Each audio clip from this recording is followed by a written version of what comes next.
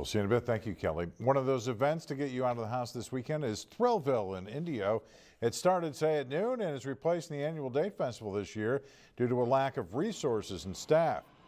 Admission is $10 and includes a flying royal circus, games, and shows. The Date Festival was canceled last year because of the pandemic. People say they are excited to see what this event has to offer. They've been locked in the house for the last couple years, so just trying to make it feel normal again. I got on the that orange one over there, and uh, I think that was it for me. One, one's enough. And your daughter? Yeah, oh yeah, she's getting on all of them.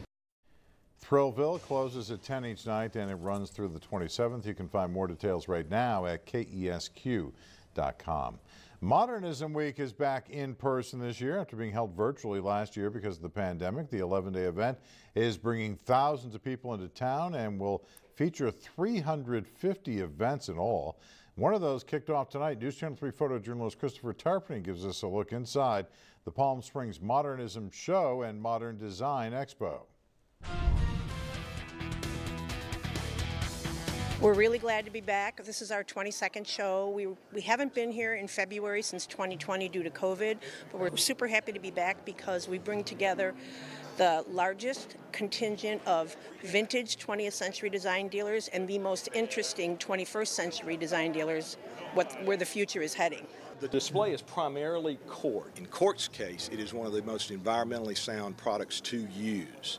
The trees grow for 300 years. Uh, you harvest a tree every nine years.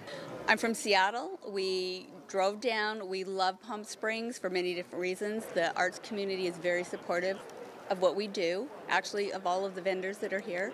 And it's just a great time to bring some of our favorite things and have other people appreciate them as much as we do. We are so happy to be here, even though we're still wearing masks and the pandemic is still here. People are eager to be out and ready to spend money. I, I think it's going to be a fabulous show.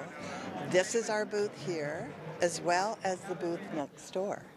So we really expanded and we're happy to be here. Because Chicago is cold and snowing right now. So that is, you know, that's Rosemary's thing. She gets us here when it's whenever there's a big storm, you'll get a call from Rosemary and she'll want us to come out here in the sun.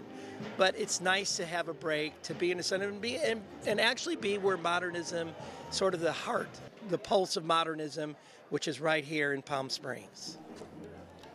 Photojournalist Christopher Tarpany put that together. You can get more information on all of the events going on this weekend from one end of the valley to the other at kesq.com.